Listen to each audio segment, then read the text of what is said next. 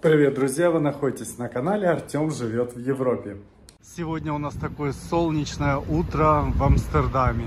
Но Амстердам далеко не единственное место, в котором я успел побывать и пожить за последние годы.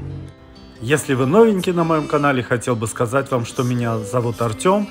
Уже больше 15 лет я живу в Нидерландах, но последние годы я постоянно переезжаю с места на место по различным, в основном европейским городам, исследую жизнь, делаю путевые заметки, пользуюсь общественным транспортом, хожу на пляж, занимаюсь спортом и встречаюсь с людьми. Иногда люблю потусить. И мне очень нравится делать видео обо всех происшествиях моей жизни в различных уголках Европы и рассказывать об этом своим зрителям. Поэтому, если вам тоже интересно узнать о жизни в Европе, подпишитесь на мой канал. И надеюсь, что мы встретимся с вами еще не один раз. Тема сегодняшнего видео снова перевод денег из Европы в Россию. Судя по количеству комментариев, я понял, что тема переводов денег из Европы в Россию в 2024 году важна, в принципе, для очень многих людей. В этом видео я вкратце расскажу, как я это делаю и сделал буквально 20 минут назад за одну минуту. Сегодня субботнее утро и так тихо, довольно тепло, голубое небо, наконец-то лето пришло в Голландию. У меня на канале уже есть несколько видео о переводах денег из Европы в Россию в 2023 году.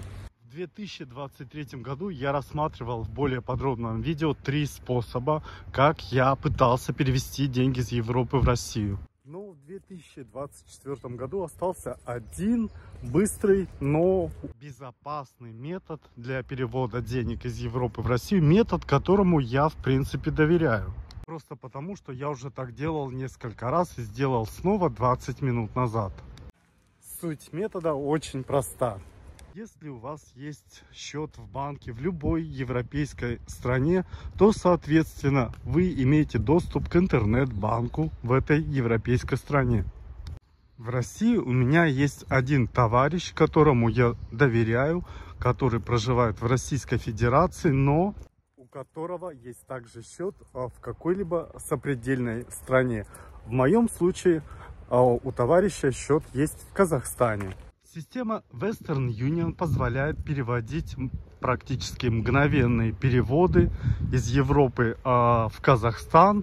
Все делается мгновенно и деньги переводятся с карты на карту.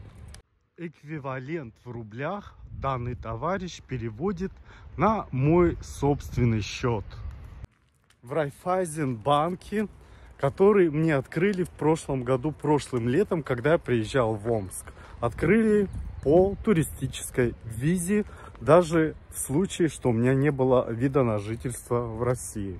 Переводить напрямую в Райфайзенбанк я не советую, потому что я перевел тогда 500 евро, а получил 414 евро.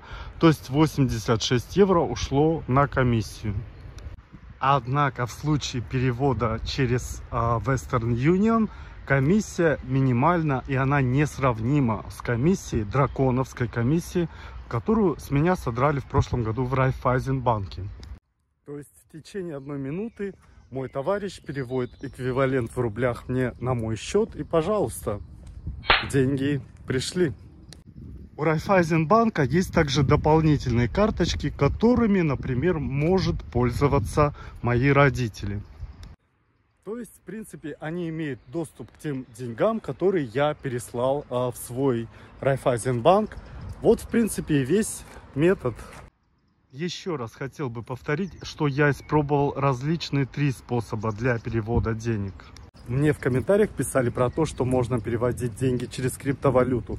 Это в принципе возможно, но в том случае, если у вас есть вывод денег на этот, например, а, российский банковский счет через какую-либо криптобиржу. Однако для людей, которые а, более старшего возраста, например, наших а, близких родных, родителей и так далее, этот способ вряд ли подойдет, потому что он немного сложный. Я очень рад, что вы досмотрели это видео до конца. Поставьте лайк, если считаете, что информация полезная. Напишите свой комментарий и подпишитесь на мой канал, если вы еще не подписаны. Пока-пока! В Амстердам же пришла долгожданная жара, но об этом в следующих видео.